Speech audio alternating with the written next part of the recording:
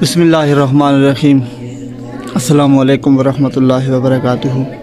जी नाजरीन, क्या हाल तुम ठीक हो? सेहत भी ठीक है? अज अस मौजूद है जनाब मलिक सफ़ीर साहब ने नवा घर जड़ा तमीर किया माशा वैसे तो पुराना ही घर लेके दे नवे सिरे तो तमीर किया माशा तो अज इतने तुस तकी सकते हो कि बच्चे भी आए हैं कुरान मजीद पढ़ने पैन सूर्य यसीन पढ़ने पैन बरकत वास्ते अल्लाह ताला निजात बरकत आता फरमाए, इस खारिज खैर वफियत अता फरमाए। मलिक सगीर साहब की, उन्होंने सारी फैमिली को अल्लाह ताला इस खारिज सुकून नाल रहना नसीब अता फरमाए।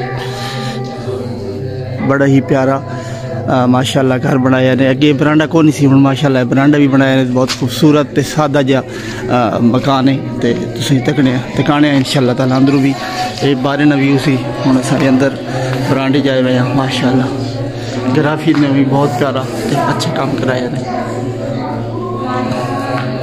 अल्लाह ताला मलिक सगीर साहब तो इन्होंने सारी फैमिली की सेहत अता फरमाए तो खैर वफीयत अता फरमाए।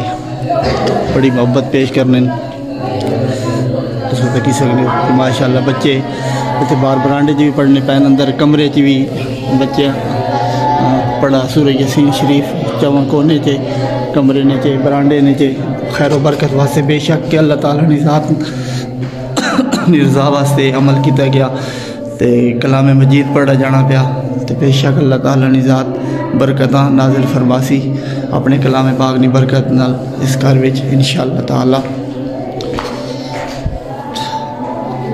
कमरे माशा सारे कमरे ने अंदरों अंदर रबता है। अंदरों अंदर डोर दरवाजे हैं।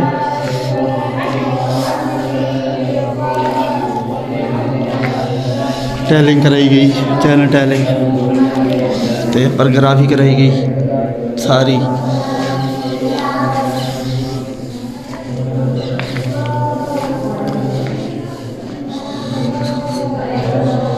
अल्लाह ताला जितने भी मुसलमान जिन्ना नवे घर बनाए या बनाने पैन, अल्लाह ताला सारे की रहना नसीब फरमाए।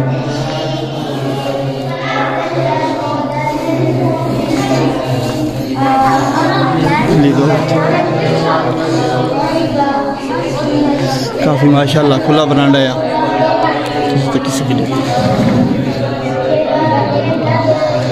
ठीक है नाजरीन, हमें इजाज़त मंगने फ़ी अमान